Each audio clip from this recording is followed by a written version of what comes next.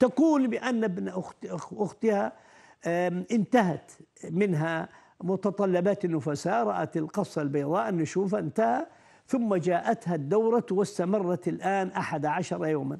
نقول دعيها فربما كان هناك بعد الولادة والنفساء تغير في عادتها فلتستمر إلى اليوم الخامس عشر.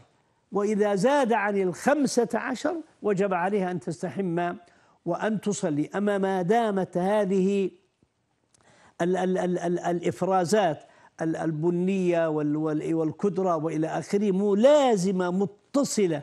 أما لو أنها انقطعت لو أن الحيض جاءها ثم رأت بعد ذلك النشوف أو القصة البيضاء ثم جاءت بعد ذلك إما إفرازات صفراء أو كدرة أو صفراء نقول لا تبالي بها أبدا. لكن ما زالت متصلة بالدورة تنتظر إلى أن تكمل خمسة عشر يوما ومن بعدها تصلي وتصوم ولا حتى رأت هذه لا تبالي بها.